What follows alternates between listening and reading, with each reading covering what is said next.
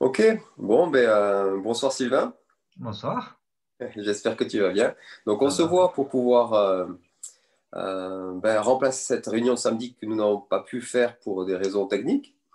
Voilà. Et puis, c'est pas grave, hein, nos, nos- nos participants vont pouvoir voir en différé cette vidéo. Ce qui compte, c'est qu'ils aient les informations. Et puis, comme d'habitude, on restera à leur disposition s'ils ont plus de questions. Ouais. Bon.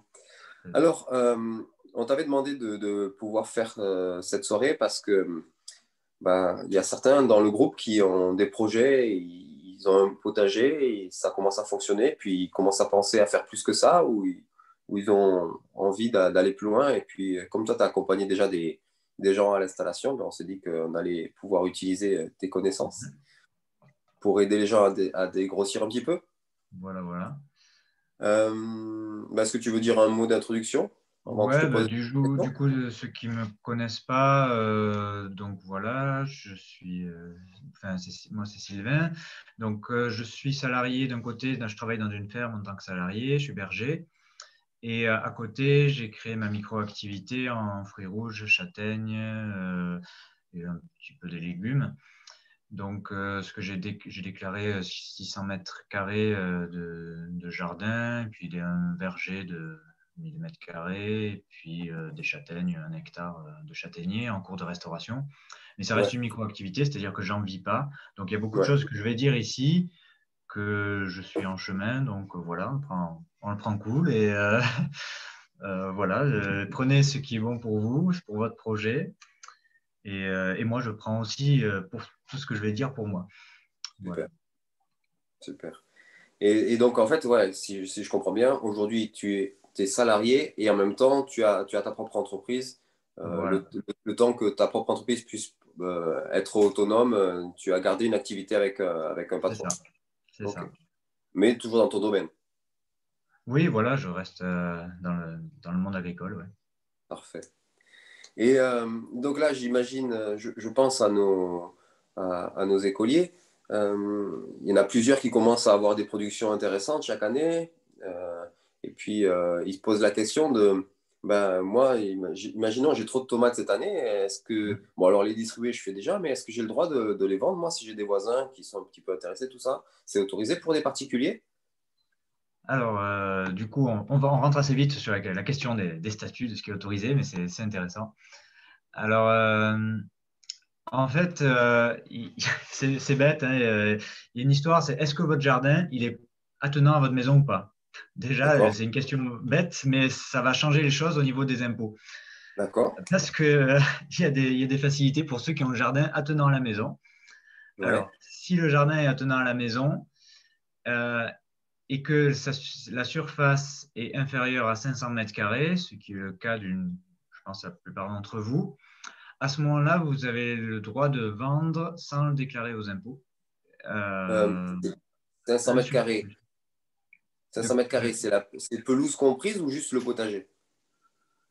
Euh, bon, ça, euh, ils n'ont pas, dé- pas détaillé, je pense, mais je pense que c'est- cultivé. Donc, D'accord. Faut imaginer, donc en permaculture, il y en a partout, donc c'est compliqué, mais imaginez qu'on met une clôture autour de la partie où on va récolter. Ouais. Donc, euh, la pelouse pour le chien, on l'enlève, mais, euh, mais les petits fruits, on les met dedans, quoi. Euh, même si c'est une Ok. haie, enfin voilà. Et donc, Donc, en fait, c'est un peu comme quand je vends un vieux, un vieux meuble sur le bon coin. Ça, ça, ça fonctionne Voilà. pareil. Voilà. Ok. Alors, il il y a quand même, euh, il y a quand même des limites, mais les limites sont ahurissantes. C'est-à-dire qu'il ne faut pas euh, dépasser, euh, je crois, 80 000 euros de, D'accord. de, oui. de chiffre. Donc, voilà, sur 500 mètres carrés, même si la permaculture produit beaucoup, on, on en est loin.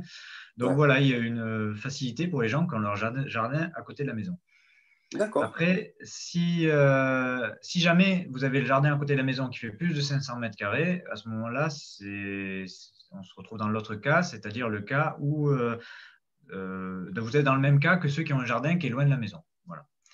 Donc, dans ce cas, euh, si vous voulez vendre et que votre bénéfice il est inférieur à 350 euros, il n'y a pas de problème, vous ne le déclarez pas aux impôts. Donc, si c'est quelques cajots de tomates, ça passe. Ok. En fait, les impôts ne sont pas trop stricts quand même sur les amateurs. Ouais. Il, y a un peu, il y a un peu de marge de manœuvre. par contre, dès que vous allez dépasser 350 euros, normalement, on le déclare aux impôts dans le, euh, au moment de la déclaration de revenus. Donc, euh, voilà, il y a un formulaire spécial à remplir. Euh, et en fait, ce formulaire, il vous fait passer sous un statut qui s'appelle micro-bénéfice agricole. Ouais. Et dans micro-bénéfice agricole, ça veut dire que vous êtes agriculteur. micro, oui. Donc, moi, je suis, je, pour mon activité, je suis au micro-bénéfice agricole. D'accord. Micro-BA, on va dire. D'accord. L'abréviation. Bénéfice agricole. Euh, et c'est là, en fait, qu'on va être un peu bancal sur les statuts. C'est que si vous devez dépasser ces 350 euros, logiquement, d'après la loi, vous devez le déclarer sur, pour la déclaration de revenus. Mais vous êtes considéré comme agriculteur. Or, vous n'avez fait aucun papier, vous n'avez aucun autre statut que votre déclaration de revenus. Donc, si c'est ponctuel, je pense pas qu'a priori les impôts communiquent pas beaucoup. Elles vont pas vous dire vous n'avez pas d'entreprise. Euh, comment ça se fait que vous avez euh, fait 1000 euros de bénéfices, sachant que c'est bénéfice, hein, c'est pas du, chiffre, donc on peut déduire un peu les charges. Ouais. Euh, mais c'est quand même bancal, c'est-à-dire qu'à un moment, je pense que c'est le moment où il faut se poser la question. Peut-être je pourrais aller jusqu'au bout et devenir micro-agriculteur, comme, comme moi par exemple et demander les autres statuts. Donc, donc je ne sais pas si on en parle maintenant ou après. Donc, être agriculteur, du coup, il y a trois statuts. Euh, un statut euh, fiscal, c'est vis-à-vis des impôts, qu'est-ce que je vais déclarer? Donc, on vient de parler, c'est micro-bénéfices agricoles pour les petits, on va dire. Hein, après, il y a le, le statut euh, juridique, c'est-à-dire l'entreprise. Est-ce que j'ai créé une entreprise? Et le statut social. Et là, c'est euh, tout ce qui est euh, assurance, euh, accident du travail, charge sociale. bon, sur les micros, il n'y a pas de retraite, tout ça. je, vais, je vais le détailler un peu plus loin. Mmh. Maintenant, si vous voulez, je bah peux mettre la diapo juste les statuts. Je cherche ma diapo. Alors, les statuts. Même si, voilà, alors je les statuts. C'est là. Partager. voilà.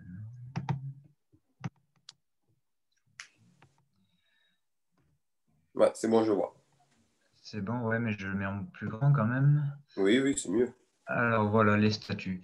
Donc du coup, si on reprend, alors c'est pas tout à fait dans le même ordre que j'ai dit. On a les trois statuts, juridique, social et fiscal. Et quand on a les trois, euh, ça veut dire qu'on peut, on est considéré comme agriculteur, euh, voilà. D'accord. Au sens strict. Alors dans le juridique, les questions qui se posent, c'est est-ce que je suis tout seul ou en société? Euh, Tout le monde connaît les sociétés agricoles type GAEC, tout ça. Donc si vous partez sur des projets collectifs, la question se posera. après, il n'y a pas d'urgence pour se poser cette question-là. Hein. Quand on est micro, on est forcément en individuel euh, ne vous prenez pas la tête avec une société si vous faites vraiment une petite entreprise. Voilà. Donc, donc ça, c'est le nom des sociétés principales. Euh, l'idée le statut juridique, c'est d'avoir un numéro SIRET. Et euh, numéro SIRET, ça me donne le droit de vendre. Donc, alors, je vais commencer en fait la présentation en vous disant que vous aviez le droit de vendre les surplus du jardin. Mais si vous avez un numéro SIRET, ça veut dire qu'il y a une entreprise et que vous avez le droit de vendre dans dans toutes les conditions, enfin à peu près. Quoi.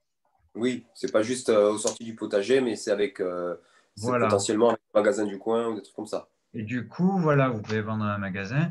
Euh, vous devenez, c'est là que vous devenez professionnel vis-à-vis de l'État. Ouais. Alors, pour demander un statut juridique, on le demande au centre de formalité des entreprises, de la, qui est à la Chambre d'agriculture. Mm-hmm. C'est un, papier, ça, sera, ça fait un A3, quoi, c'est vite rempli faut, faut bien qu'on se, se, faire expliquer un peu les cases, parce que des fois, ce n'est pas clair. Et euh, centre de formalité des entreprises, après, avertit la MSA, Mutualité sociale agricole, que vous avez créé une entreprise agricole. Et à ce moment-là, euh, la MSA va vous demander si vous voulez de prendre un statut social. Oui. vous pouvez le prendre ou pas. Alors, admettons que vous vous dites, ben, maintenant, ça démarre, j'ai envie de, de prendre les trois statuts, d'être micro-agriculteur. Voilà. Donc, il y a plusieurs statuts sociaux. Le statut, quand je dis micro, c'est cotisant solidaire. Et en fait, c'est ça le statut, c'est l'équivalent d'auto-entrepreneur, ça on en parle partout, mais pour l'agriculture, ça n'existe pas. Donc on, parle de cotisant solidaire, c'est-à-dire que les cotisations sont très faibles, c'est très, très, avantageux. Quoi. Pas... D'accord. Mais après, je vous montre, je vous donne quand même les autres statuts. Donc après, il y a agriculteur à titre principal. Donc euh, là, c'est euh, voilà, vous êtes, vous avez une vraie entreprise. Vous avez agriculteur à titre secondaire si euh, vous, voulez avoir une vraie entreprise agricole qui n'est pas micro et que vous gardez à côté un travail salarié. Donc vous êtes à secondaire. Et un autre statut social, c'est conjoint collaborateur. Ça, c'est dans le cadre dans un couple. S'il y en a un dans le couple qui est agriculteur, L'autre peut demander à être conjoint collaborateur et avoir quelques avantages. On va dire que son statut de la ferme, euh, c'est un peu recoulu. Ce n'est pas, pas, passager, clandestin. Petite, euh, petite anecdote, moi j'ai ma maman qui s'est fait former, euh, qui a eu une formation de, de, en secrétariat et comptabilité, justement, parce que mon papa était à la MSA. Et donc, bah, comme ils sont, ils sont conscients que les, les, femmes des, agriculteurs et autres affiliés à la MSA ben, sont, sont, les secrétaires et comptables des, entreprises. Ben, il, lui mm. avait, euh, lui payé la, formation avec les autres femmes d'agriculteurs.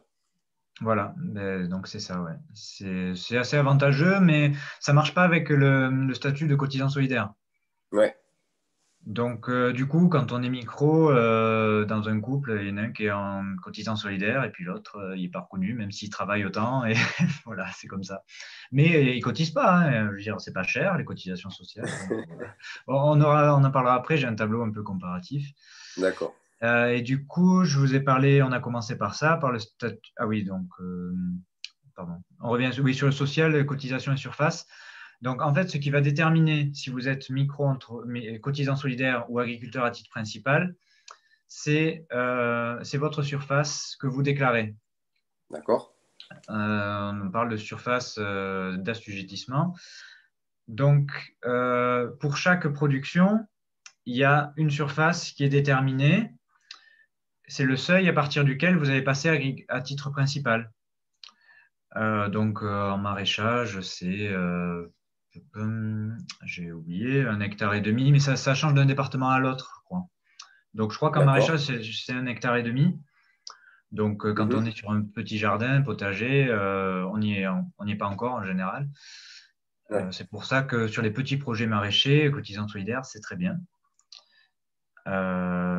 mais si vous avez, vous voulez vraiment vous avez besoin d'être à titre principal pour des raisons de subvention, de montage de projet. Vous achetez une grande ferme et puis vous démarrez petit, mais c'est un, gros projet et que euh, vous n'avez pas assez au départ de surface pour déclarer, vous pouvez aussi déclarer des heures de travail, ce qui est encore plus complexe. Bon, euh, des heures de travail de transformation et commercialisation. Par exemple, la sauvage, donc, c'est des fruits que je ne peux pas déclarer en surface. Je vais les chercher dans la montagne et je fais des confitures avec. Mais, euh, mais j'ai quand même déclaré une case avec un nombre d'heures que je passe à cueillir et à faire mes confitures. D'accord. Ce qui fait que j'ai, je suis resté cotisant solidaire, hein, c'était mon, but. Ce qui fait qu'en fait, on peut quand même choisir euh, son statut euh, en si on fait de la transformation ou de la vente directe ou du conditionnement et qu'on n'a pas assez de surface, on peut quand même arriver à être agriculteur à titre principal si on en a besoin. On expliquera pourquoi. Mais voilà, vous, dans un premier temps, vous n'allez pas être concerné par euh, agriculteur à titre principal. Et euh, du coup, ce qui change entre les différents statuts, là, c'est la cotisation à la MSA, la mutualité sociale agricole. Euh, et puis, on a parlé donc du statut fiscal. Donc, le centre des impôts, quand vous avez créé votre entreprise avec le numéro SIRET, il est averti aussi que vous avez créé une entreprise. Donc, euh, il sait que vous allez déclarer du micro-bénéfice agricole. si jamais vous êtes sur une grosse ferme, ce n'est pas du micro-bénéfice agricole, mais il y a deux statuts, le réel ou le, réel normal ou réel simplifié, mais ça, voilà, ça vous concernera pas beaucoup. Mais ce qui est important, c'est ça, c'est qu'en fait, quand vous remplissez le, formulaire pour, au centre de formalité des entreprises pour avoir un numéro SIRET, il va falloir décider si vous êtes assujetti à la TVA ou pas. Donc, assujetti à la TVA, ça veut dire que quand je vends, donc moi je vends des confitures, euh, quand je vends des confitures, sur le prix que je mets, l'argent que je récupère, la TVA, elle y est dedans. Donc, ça veut dire que je suis comme un collecteur d'impôts pour l'État. Oui. Mais cet argent ne m'appartient pas, donc il va falloir que je le rende à l'État. Mais en contrepartie, l'État euh, me permet aussi de récupérer la TVA sur tout ce que j'achète de neuf. Oui. Donc en fait, moi, je, garde toutes mes factures et comme j'investis, j'achète des tuyaux, je fais de la clôture, euh, j'améliore l'irrigation, un peu de matériel. Et euh, là, dans quelques mois, je vais faire le bilan de tout ce que j'ai acheté. Je vais déclarer aussi tout ce que j'ai vendu et je vais faire l'équilibre la balance et comme j'aurais globalement, cette année en tout cas, plus euh, acheté parce que j'investis que ce que je, vais récupérer de TVA sur mes pots de confiture, en fait, c'est l'État qui va me rembourser de l'argent. D'accord. C'est pour ça que dans les magasins professionnels, on écrit toujours le prix hors taxe, parce que les professionnels, ils récupèrent la TVA. Oui. Donc voilà. Donc pour moi, ça me concerne, je récupérerai la TVA. Et en plus, c'est souvent le cas euh, quand on investit, qu'on récupère de, enfin, que l'État nous rembourse de l'argent parce que tous les produits agricoles sont à la TVA à 5,5%, je crois. Et puis par contre, quand on achète du matériel, mhm. c'est 20%. Donc il y a une, bascule qui, qui, qui, est globalement en notre faveur si on est dans une dynamique d'investir et d'acheter. Ouais. Par contre, si vous avez mhm. déjà tout votre matériel, que vous vous investissez pas, vous avez très peu de charges. Moi, j'achète du sucre pour mes confitures, mais si vous vendez que des légumes, euh, il y a peu de charges peut-être. Enfin, à voir. Il y a quand même les semences. Euh, puis pensez à l'irrigation, c'est quand même, si vous, selon les régions, ça peut être un gros poste.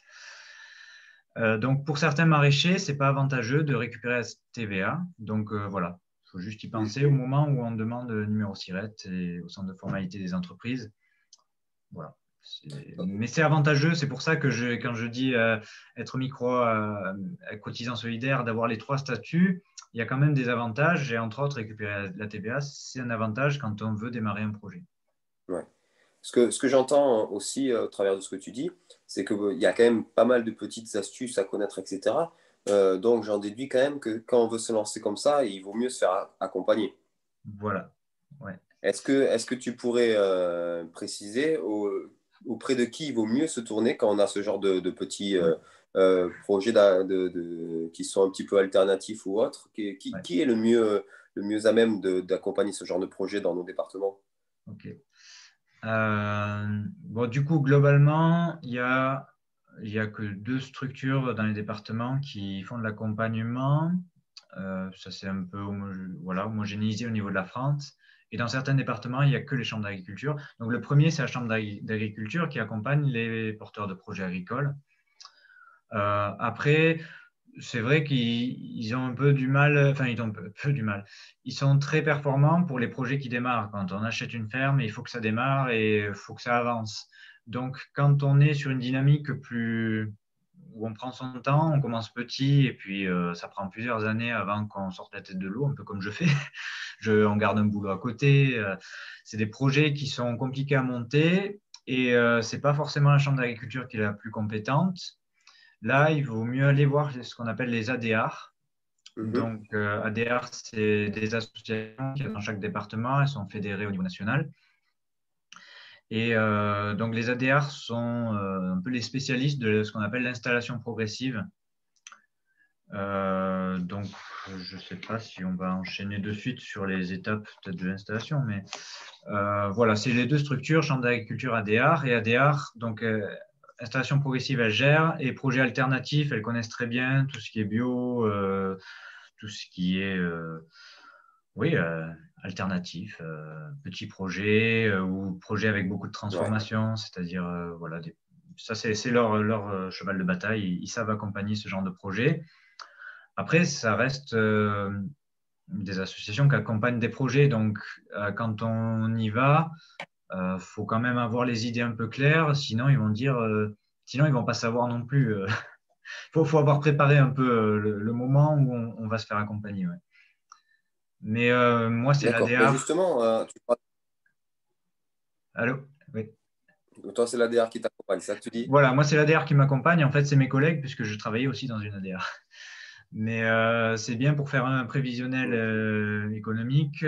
Pour, euh, donc là, ils m'ont fait un petit dossier que, qui est la présentation technico-économique de mon projet et que j'utilise si je dois aller rencontrer quelqu'un. Donc hier, j'avais un rendez-vous à la mairie et je suis venu avec mon dossier de l'ADR. Donc on a pu discuter autour de ça pour, pour les demandes que j'avais à leur faire.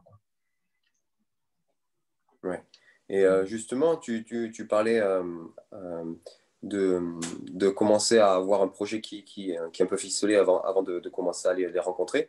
quelles seraient d'après toi les, les, bonnes questions à se poser pour, pour essayer de, faire le point sur ben, jusqu'où je suis prêt à aller, qu'est-ce que je vais. Voilà. Quel, quel, projet, quand, comment, où? Oui, ouais, donc ben, oui, c'est toutes ces questions qu'il faut se poser donc, moi, j'aime bien dire euh, définir les objectifs. Les deux premières questions qui viennent, c'est quoi et pourquoi? Donc, quoi, euh, c'est principalement quelle production? Donc, si vous partez d'un jardin euh, potager, moi je dis pas potager parce que voilà, chez moi on dit pas potager, mais on dit voilà, je vais dire jardin de légumes. Donc, ce sera certainement euh, des légumes que vous allez produire, mais bon, il peut y avoir la question dans quoi. Il y a aussi est-ce que je vais faire de la transformation, euh, des pâtés végétaux, des, euh, ratatouilles, des choses comme ça. et puis, dans quoi il y a aussi qu'est-ce que moi je veux en fait? Quelles sont mes, aspirations personnelles en dehors de, mon projet? Que ce soit qu'est-ce qui me plaît dans ce métier, qu'est-ce que, quel est le temps que je peux y consacrer, est-ce que je garde une activité Tout ça. Donc, euh, c'est des bonnes questions à se poser. Et, dans le quoi, après, on va passer au pourquoi. Donc, euh, euh, est-ce, qu'il y a un, but en fait à tout ça? Est-ce que c'est juste, est-ce que je fais juste du jardin ou des légumes pour me nourrir moi-même? Est-ce que j'ai envie de nourrir d'autres personnes? Est-ce que je veux avoir un salaire de cette activité, enfin un salaire, un, salaire, un revenu plutôt, euh, c'est-à-dire vivre de cette activité, euh, est-ce que je veux être riche? Euh, Ça, si vous voulez être riche, il faut le savoir dès le départ parce que voilà, c'est faut, bien ficeler son projet parce que c'est pas évident dans l'agriculture. ou est-ce que mon, mon, truc, moi, moi, je veux faire le jardin en permaculture parce que parce que je veux, faire un modèle pour l'écologie, pour sauver la planète. Ça aussi, ça fait partie du pourquoi. Et, euh, c'est bon à savoir, en fait, c'est sur quels sont les fondements en fait de mon projet. Et euh, voilà. Et du quoi, du pourquoi, on en vient ensuite à la question. Euh, ah oui, non, juste un petit point sur produire pour qui. Donc, si, si je veux produire pour d'autres personnes que moi-même. C'est-à-dire qu'on euh, on sort un peu du côté juste le loisir du faire du jardin. C'est passionnant, même quand on est professionnel, d'être au jardin. Mais euh, il n'y a, pas que ça. Si on veut euh, nourrir d'autres personnes, il y, a une dimension un peu altruiste. C'est-à-dire, je produis plus pour mes propres besoins ou pour mon clan, pour ma famille, mais j'ouvre un peu autour de moi. Euh, je, en fait, le projet, il est un peu décentré de, moi-même, donc ça, c'est assez intéressant. Alors, ça peut être euh, dans le cadre, enfin, il y en a quelques-uns qui sont là et qui ont par exemple des projets de communauté. Mm. Et dans le cadre d'un projet de communauté, c'est délicat parce que du coup, si moi je suis, soit moi je suis maraîcher pour une communauté, donc je produis pour les autres, mais en fait, c'est quand même euh, ma famille, c'est en, interne. Ouais. Par contre, euh, je produis pour les autres. Et euh, selon la taille de la communauté, ça va être du boulot. Donc peut-être il faudrait que je pense mon projet comme si j'étais un professionnel, à part que peut-être il n'y aura pas de vente. ce, sera, ce sera en interne. Donc là, pour moi, c'est quand même une activité vivrière, mais qui doit se penser un peu professionnelle. Et euh, voilà, c'est juste l'anecdote, mais je sais que ça concerne certains d'entre vous, donc euh, voilà, c'est pour ça que je voulais, je voulais en parler. Et ensuite, produire pour qui Il y a l'idée, quand, je, quand je produis pour d'autres, en fait, je fais bénéficier, euh, je fais profiter aux autres de, mon savoir-faire, de, mes compétences et de, mon lieu, de mon jardin, en fait. Parce que, euh, parce que j'ai, à force euh, de faire mon jardin perso, maintenant ça marche bien et puis ça produit plus que ce que j'ai besoin, donc j'en fais partager les autres. Et, moi, ça me fait penser à, en fait, on se met au service des autres et ça, ça m'a rappelé ce que tu disais, David, dans dans les premières euh, diapos de cette année, euh, les premières rencontres, euh, le terme AVAD, ouais. c'est un peu se mettre au service aussi, c'est ça? C'est travailler au service. Travailler au service. Et donc voilà, ça, fait juste un, peu le lien. et, Avad, c'est aussi, il y a une dimension, c'est le mot qui est utilisé pour les Lévites, qui eux étaient au service de Dieu. Donc voilà, quand on se met au service des autres, on se met au service de Dieu. Et c'est comme quand Jésus il dit euh, ce que vous faites au plus petit euh, de ses enfants, vous le faites à moi aussi. J'ai noté Matthieu 25, 40. Euh, donc voilà, je trouvais ça, ça sympa aussi. je ne dis pas ça pour que tout le monde se, commence à, faire, à vendre ses légumes. Enfin voilà, chacun avance à, son rythme et selon ce que, comment il le sent. Mais mais il y, a quelque chose de passionnant, en fait, euh, de se dire je, fais du jardin ou je fais des légumes, des fruits rouges, des confitures. Et c'est pas pour moi, c'est pour les autres. Et, c'est ma façon aussi de servir Dieu. Donc voilà, c'était euh, euh, la, petite Et en fait, de passer de, du côté autoconsommation et besoins personnels à, aux besoins des autres, parce que du coup, on va avoir le regard aussi du consommateur, des, gens qui vont manger mes produits, ils vont dire ah, si c'est pas bon, euh, bah non, euh, ça vaut, pas, vaut pas la peine. Et, euh, ben, ça oblige à se décentrer un peu.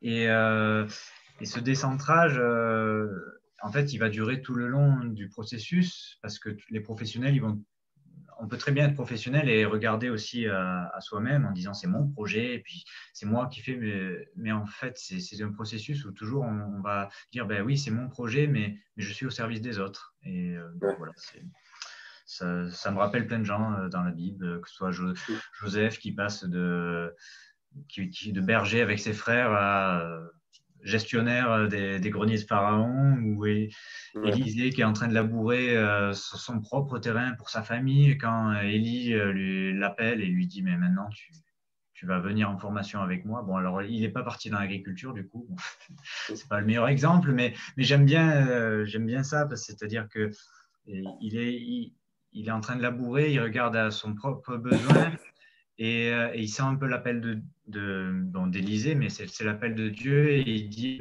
euh, mes parents, c'est-à-dire je renonce un peu à moi-même, à, mon clan, à ma famille, et, je vais te suivre et rentrer dans une formation avec, avec Élie. Et euh, voilà, c'était juste les, deux exemples que j'aime bien pour, pour illustrer ce, décentrage et donner un peu plus de place à Dieu dans, dans, dans l'idée de, de, monter un projet professionnel. Voilà. Ah, mais euh, ça, ça, me parle surtout, surtout sur ce genre de projet. Euh, euh, là, on est dans une époque où il y a beaucoup de personnes qui ont des envies de, de, de enfin, qui ont des envies ou qui pensent qu'il est urgent de, de partir sur des, des communautés, des, des, quelque chose de vivrier, etc. Et moi, je suis content que tu parles de, de ça, que tu recentres un petit peu les choses sur Dieu, parce que je crois que si on doit partir sur un projet comme ça qui est plus que juste euh, faire le potager pour, euh, ou le jardin de légumes pour, euh, pour sa famille, je crois qu'il est important de ne pas oublier Dieu dans l'équation. Et effectivement, tu fais bien d'appuyer là-dessus parce que je pense que la prière et le, partage avec, avec les frères et sœurs est important au démarrage et avant le démarrage de ce genre de projet parce que je pense que c'est bien de faire des projets et d'y inviter Dieu, mais je pense que c'est encore mieux de rentrer dans les projets que Dieu a, prévus pour nous. Euh, et, on peut avoir une très bonne idée, euh, et puis peut-être que l'idée est bonne, mais que ce n'est pas nous et poser la question au Seigneur, c'est quand même, je pense, une très bonne étape quand on en est au, stade de la réflexion. Parce que quand on est déjà jusqu'au cou dans les démarches, c'est un peu tard. C'est ça. C'est ça, c'est ça. Justement, je parle de démarche. Est-ce que tu veux enchaîner avec les, avec Ouais, juste avant, je vais juste montrer une autre diapo. C'est pour le, le, montage général du, un peu d'un projet. Parfait. Euh...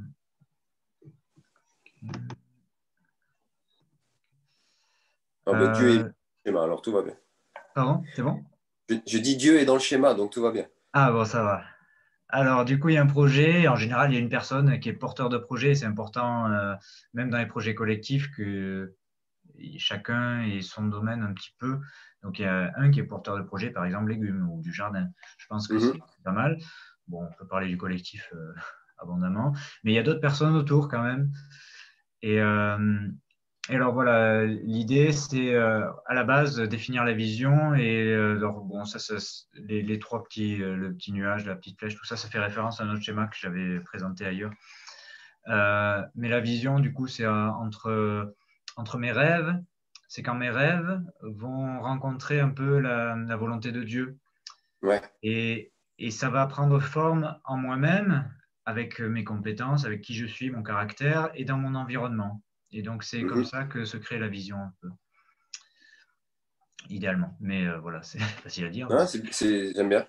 Euh, et alors, dans ce projet, l'idée, c'est euh, de, retrouver euh, quels sont mes dons, mes capacités, mes compétences, et de commencer à travailler aussi là-dessus pour approfondir, pour aller plus loin, parce que c'est pas rien quand même de, de vouloir faire un jardin deux fois plus gros que ce qu'il était, ou de vouloir être professionnel. C'est une formation un peu de, de tous les jours, et jusqu'à la fin, les professionnels, ils disent on découvre chaque, euh, tous les jours des nouvelles choses, euh, même après 40 ans de carrière. Donc voilà, c'est la formation permanente.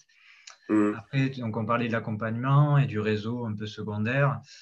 Donc ça aussi, ça, fait partie des bases du projet. Les finances, euh, ça fait partie des bases du projet. Ben oui, parce qu'il en faut, il en faut et voilà, il y a plein de, façons de, il y a plein de solutions à trouver pour ça. Euh, euh, oui. Type de secondes. Euh, j'en profite quand tu parles de réseau et relations. J'en profite pour, pour, dire aussi que l'école buissonnière a pour but de bah, d'aider et de donner des pistes de formation, etc. Ce qu'on fait mois après mois.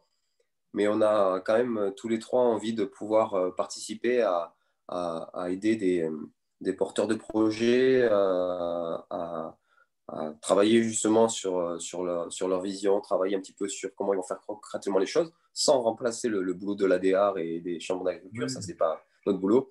Mais euh, justement, dans réseau et relations, je crois que euh, ceux qui nous écoutent doivent savoir que le but de l'école buissonnière, c'est d'être présent aussi pour ces porteurs de projets, pour prendre du temps avec eux, si, juste pour un échange téléphonique pour commencer, pour voir comment euh, où ils en sont de leur démarche. Et puis, euh, et puis s'il faut plus tard euh, aller sur place, faire le point, faire des vraies réunions de travail sur les projets avec les équipes sur place, etc. Ben, on a vraiment cette volonté de, de faire ça. Et puis toujours dans le réseau, ben, on, on, a vraiment à cœur de mettre ces différents lieux en réseautage. Et puis des fois, il peut y avoir des projets qui sont similaires, qui se font écho et mettre en relation tout ça, c'est c'est vraiment des, choses qu'on souhaite porter euh, au sein de l'école buissonnière. Super, c'est vrai. Voilà. Très bien. Euh, bah alors pour continuer, euh, l'idée, alors c'était trouver un lieu. Oui. Et ça aussi, c'est pas une mince affaire. Voilà, ben, un lieu qui réponde à vos aspirations personnelles, un lieu où je vais passer ma vie, parce qu'un projet avec une dimension agricole, c'est un projet de vie, donc il faut que euh, ça corresponde, mais il y a, aussi des, besoins. Si je veux faire euh, du maraîchage, euh, il va falloir quand même avoir un, jardin qui soit cultivable. Quoi. Sinon, si c'est pas cultivable, eh ben, je vais prendre mon temps pour le rendre cultivable, mais il ne faut pas être pressé à ce moment-là. Ouais. Donc voilà, des fois on a l'entrée, on dit ah ça y est, j'ai trouvé le lieu. c'est peut-être le bon lieu, mais il ne correspond pas au projet que j'ai pour. Euh, donc, du coup, le projet pourra se mettre en place que dans, dans 10 ans sur ce lieu. Ou alors on se dit j'ai trouvé le lieu et puis en fait ça ne correspond pas du tout euh, au projet et il vaut mieux chercher un autre lieu. Donc mhm. euh, voilà, je, c'est un pavé dans la mare et c'est voilà, c'est, pas, c'est pas évident. Après, tout au long de projet, du projet, ben voilà, c'est, des démarches de foi. Euh, on ne sait pas toujours où on va. Alors, on peut avoir peur des crises et tout ça. On dit, ah, mais je ne vais pas m'engager professionnel vu la situation. Ben, ouais, mais des fois, il faut, faut, faire des pas de foi. Et du coup, il faut être aussi euh, à l'écoute euh, et, entretenir sa relation avec Dieu. Voilà un peu quelques fondements pour, pour un projet. du coup, je ne sais pas, est-ce qu'on passe euh, sur les, euh, sur les démarches ou est-ce qu'on... Ouais, bah oui, on peut continuer sur les démarches. Puis après, j'aurai sûrement d'autres questions sur, sur des... Euh, on reviendra sur d'autres sujets après. Ouais, c'est sympa, c'est interactif, mais du coup, ça fait un peu brouillon, mais c'est pas grave, c'est pas mal. Non, ça va très bien. Alors, je cherche les démarches. Bon, ça, reprend un peu euh, ce que j'ai dit à l'oral, mais je vous, présente quand même la diapo.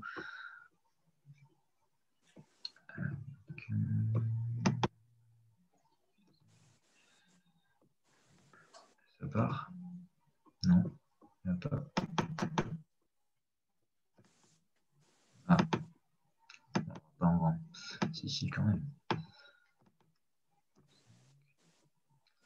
Bon, ouais, mais c'est dommage, il y avait des animations. Là. Parce que là, c'est un peu violent comme schéma. Euh, bon, euh, bah, c'est dommage. Bah, tu vas nous le raconter. Ah non, mais je vais le faire par là. C'est bon. Alors, mais du coup, je vais, je sais pas où il euh, mes démarches. Attends, mais c'est ça, voilà. D'accord, c'est pour ça. J'avais pas fait l'échappe. voilà, on y arrive. Non, Décidément. C'est les joies du direct.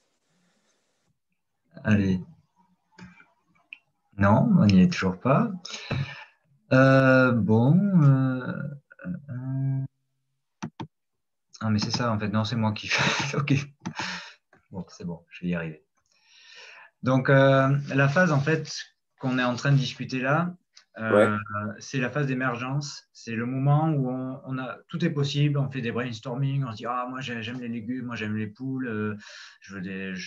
voilà, on se fait plaisir et on regarde tout ce qui est possible et on fait émerger en nous euh, à différents endroits un projet idéal. Et après, ben, on va affiner. Mm-hmm. Donc voilà, c'est la phase d'émergence.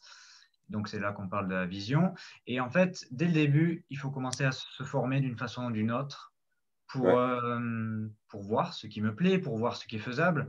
Euh, voilà, moi, euh, j'ai l'idée un jour d'avoir un troupeau, des brebis. pourtant, ça ne vient pas pour l'instant, mais dans ma phase d'émergence, j'ai décidé de faire une petite formation fruits rouges, de voir un peu comment ça se fait, une formation plante aromatique, euh, j'ai fait beaucoup de formations euh, courtes comme ça. Et, euh, finalement, Frérot, je me suis dit, oh, pourquoi pas, ça correspondrait bien au lieu que, je vise, où je pense mhm. que le lieu où je pense que c'est ma place, en tout cas pour cette saison. Et du coup, je suis parti là-dessus, mais c'est vrai qu'il y a, il y a cinq ans, je ne pense pas que j'aurais dit fruits rouges spontanément. Et finalement, actuellement, je me régale à faire des, petites confitures. Voilà. Mais ça, c'est par des formations que j'ai pu évaluer. Euh, côté plantes aromatiques, euh, j'ai gardé qu'une toute petite partie. Je n'ai pas l'impression d'être euh, producteur de plantes aromatiques. Je, cueille juste quelques plantes pour faire des tisanes que je vends, mais voilà. il y a plein de formations que j'ai mis de côté pendant cette phase d'émergence. Après, il y a le test. Donc, le test, c'est ce que vous faites aussi actuellement dans votre, dans votre jardin. de savoir, ben ouais, mais les, tomates, elles poussent pas bien, ou alors je les ai mis trop tôt ou trop tard. Oh, puis finalement, ça, j'en ai marre de, charrier du, fumier. Ou c'est pas ça que je veux pour ma vie. Ça me, ça me va quand ça fait 50 mètres carrés, mais ou 20 mètres carrés, mais je peux pas envisager plus. Donc voilà, ça, c'est du test. Et moi, je fais des tests de confiture hein, depuis plusieurs années. trouver un lieu, il faut, chercher dès qu'on qu'on peut, puis on, verra. voilà. Et après, quand on commence à avoir quelque chose de clair, on passe dans du montage. Et c'est là qu'on fait appel. Donc, j'ai mis accompagnement, c'est sous-entendu accompagnement par l'ADR ou Chambre d'agriculture, et des professionnels aussi du, du milieu. Donc, des, maraîchers qui vont dire Ah ouais, fais gaffe, ton lieu là, tu veux faire du maraîchage, il n'y a pas d'eau, c'est que du caillou. C'est compliqué. Donc voilà, c'est là que le, réseau qu'on a créé avant, il va, va, nous être utile pendant le montage. Et montage technico-économique, c'est bon, technique, on va se poser la question qu'est-ce que c'est mon calendrier, comment, comment je vais m'y prendre, à qui je vais vendre. Et puis économique, c'est combien je vais dépenser, combien je vais gagner.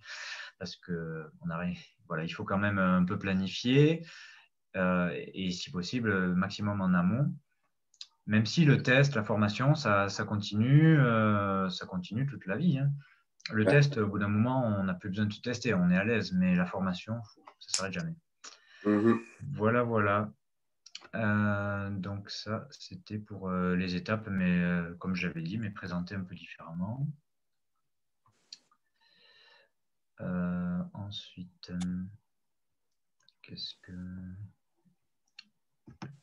qu'est-ce qu'on voulait voir? Tu m'as parlé tout à l'heure d'aide à l'installation. Ouais, ouais, ouais, voilà, oui, on va y venir. Du coup, je cherche. Mais j'ai toujours pas fait. J'y arrive. Ah.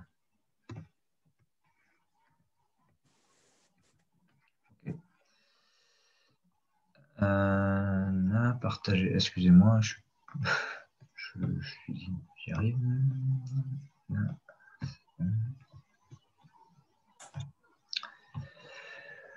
Alors, donc euh, voilà, ça c'est l'installation progressive. L'idée, c'est donc de commencer petit. Alors, j'aurais pu rajouter une flèche aussi amateur avant aussi, c'est-à-dire qu'on fait nos tests dans le jardin. Mmh. Mais le jour où vous dites ça y est, j'ai envie d'être professionnel, c'est facile euh, de devenir cotisant solidaire. Et dans l'idée d'installation progressive, on se donne aussi la possibilité d'être un jour agriculteur à titre principal, parce que on verra plus tard, cotisant solidaire, sur le long terme, c'est quand même euh, c'est avantageux parce que les cotisations sont faibles. Après, euh, on cotise un peu, pas beaucoup, parce qu'on n'a pas beaucoup, on n'est pas assuré pour, on n'a pas d'assurance maladie, on n'a pas de retraite. Oui, la, la cotisation, elle est solidaire avec les autres. Voilà, c'est ça. C'est ça. Euh, donc, c'est, euh, oui, je, vous le donnerai plus tard. Euh, pour un ordre de, grandeur, cotisant solidaire, c'est à peu près 400 euros par an. Et agriculteur à titre principal, c'est, ça peut aller, c'est 3 4 000 euros. Donc, voilà, sachant que 3 4 000 euros, finalement, c'est pas beaucoup si vous regardez tous les, ce qui est prélevé chez un salarié normal ou chez un, un entrepreneur, un artisan c'est voilà, c'est normal. Mais du coup, quand on démarre, euh, ne commencez pas agriculteur à titre principal parce que entre 300 et 3000, enfin entre 400 et 3000, il y a une grosse différence. Hein. donc euh, voilà, euh, je vous ferai le comparatif après tout à l'heure. Donc, et en fait, pourquoi est-ce que certains demandent à passer agriculteur à titre principal? Parce qu'il y a une grosse aide qui s'appelle la DGA, dotation jeune agriculteur, donc pour ça, il faut avoir moins de 40 ans et avoir la capacité professionnelle. Donc ça, euh, c'est avoir un diplôme agricole. Euh, le diplôme agricole de base, il s'appelle BPREA. Euh, au mieux, c'est un an de formation, au plus court, enfin, dont pas mal de stages dedans. C'est assez complet, c'est-à-dire on voit un peu de tout, tout ce qu'il y a besoin pour pour gérer une ferme. Donc, c'est-à-dire, on va toucher un peu à la comptabilité. Et puis après, il y a des BPRA un peu spécialisés. Donc, vous pouvez avoir un BPRA maraîchage bio, par exemple. Euh, mhm. Ça, il y, en a, un peu partout en France. Euh, et puis, essayer de, percevoir un peu la, couleur du centre de formation. Il y en a qui sont plus euh, alternatifs, d'autres un peu, un peu moins. Et d'autres qui sont spécialisés sur les plantes aromatiques. Donc, voilà, ça, c'est une formation de base qui, c'est bien en fait de la faire euh, presque euh, avant de se lancer cotisant solidaire pour ceux qui savent qu'ils veulent vraiment euh, un jour être à plein temps agriculteur. C'est bien de faire une formation diplômante à y être. Comme ça, vous anticipez. Si un jour vous avez besoin de demander à DGA, vous avez déjà le diplôme. Alors que si vous vous lancez euh, gros cotisant solidaire avec un gros jardin, et puis un jour, Ah mince, maintenant, ça y est, je, suis à l'aise, je suis maraîcher, ça vend bien, euh, puis euh, j'aimerais bien investir dans un, petit bâtiment, un tracteur. Eh ben ouais, il faut de l'argent, et, là, il y a une subvention qui s'appelle la DGA, c'est de l'argent qu'on peut avoir, mais j'ai pas le diplôme. Donc, ça, ça, ferme un peu des portes. Donc, je pense, le BPRA, c'est pas pour la subvention qu'on fait la formation, mais c'est euh, une formation de base longue, enfin d'un an quand même, euh, qui apporte beaucoup. Et si vous voulez apprendre encore plus, si vous avez du temps, euh, on peut la faire en apprentissage, c'est-à-dire on étale toute la formation sur trois ans et, les deux ans qu'il y a en plus, en fait, c'est que du stage. Donc, on peut, tu bosses avec des professionnels, tu, peux en faire plusieurs. Donc là, ça commence à être vraiment formateur. Donc mhm. ça, voilà, c'est les diplômes. Si vous cherchez un diplôme, voilà, vous aurez une formation qualifiante, pensez au BPRA. Et si euh, vous n'envisagez pas d'avoir une DGA, donc juste une DGA, euh, le montant de la subvention, c'est, euh, je crois que la base, elle est à 12 000 euros. et après, ça peut monter à 50 000 euros, selon où on est, selon qui on est. C'est-à-dire qu'on monte, euh, si on n'est euh, si on pas un fils d'agriculteur, on, nous rajoute 1000 euh, euros. si on est en zone de montagne, on nous rajoute tant de 1000 euros aussi. Et voilà, c'est ce qui fait que sur certains mhm. projets, c'est une aide qui aide vraiment pour les gros investissements quand il faut un bâtiment, quand il faut du matériel. Donc voilà, après, c'est euh, sur les projets maraîchers, c'est peut-être la, production où il y a, les investissements sont les moins lourds, c'est pas de l'élevage. quoi. Donc il y en a qui se disent euh, ouais, sur un projet maraîcher de taille moyenne, euh, ben, peut-être c'est pas la peine en fait, parce que la, la, contrepartie de la DGA, c'est que on, doit, on doit être en activité quatre ans après l'avoir demandé et on doit gagner de l'argent. Il faut montrer qu'on on sort 14 euh, 000 euros de revenus. Ça ne veut pas dire qu'on le, le, prend pour nous. On peut très bien euh, dire, mais moi, je n'ai pas besoin de 14 000 euros par an, mais ça veut dire que cet argent est là et je peux le réinvestir euh, dans ma ferme. Mhm. Mais c'est un engagement quand même. Alors, ils sont, ils sont de plus en plus cool sur, sur cet engagement. Avant, ils étaient très stricts. Ils demandaient de rembourser la DGA une partie si, si ça se passait mal. Bon, il faut que ça se passe bien, mais ils sont moins, moins contrôlants. Donc voilà, c'est normal, c'est une grosse somme donc euh, qu'on nous donne, donc il faut, faut jouer le jeu. Ensuite, si on ne veut pas la DJA. Excuse-moi. Oui. Euh, j'ai entendu dire que si tu faisais le point entre ce que te, pouvait te donner la DJA et ce qu'allait te coûter le comptable pendant les 3 ou 4 ans à venir, euh, c'était ça, ça, revenait à peu près au même. Ben, si, si, vous avez une, si c'est une DGA à 12 000 euros, un comptable, c'est euh, euh, 1000 euros par an, euh, enfin 1500 peut-être. Euh, donc, vous êtes entre 4 et 6 000 euros de comptable pour 4 ans. Euh, si vous avez une DGA de 12 000 euros, vous y gagnez quand même. Mais c'est sûr qu'il y a une contrainte, il y a une lourdeur dans la DGA. Mhm. après, voilà, enfin, il y, y, a moyen d'avoir des, comptables, des comptabilités à moins de 1000 euros par an. Parce que oui, il faut, il faut certifier la comptabilité, en fait, c'est ça qui coûte cher. Euh, si vous, il y a des, euh, via, via les ADR, en fait, il y a des réseaux de comptabilité euh, collaborative. C'est-à-dire que ça s'appelle les AFOG. Et les AFOG, on peut avoir une comptabilité certifiée, donc validée par la DGA, via une AFOG. C'est-à-dire que, mais ça veut dire on s'investit dans la gestion de la comptabilité. C'est aux paysans à se dire, moi, je vais, euh, euh, je vais faire moi-même toutes mes, lignes de facture, je vais présenter tous mes tableaux, et on se retrouve euh, tous les deux mois avec la formatrice, la comptable à FOG, avec cinq ou six autres paysans, et on fait le mhm. point, on fait avancer, on remplit les tableaux tous ensemble pour arriver au même résultat que ce qu'aurait fait un comptable euh, qu'on paye 1500 euros. Mais c'est parce que j'ai bossé, j'ai fait des formations, j'étais derrière mon ordi à remplir les chiffres dans les tableaux.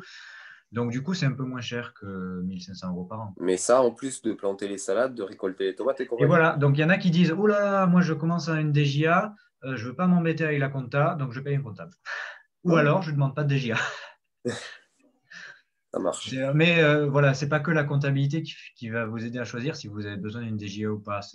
C'est un point, mais euh, voilà, il y a plein d'autres points à étudier, mais on n'y est pas encore, je pense, pour la plupart d'entre vous.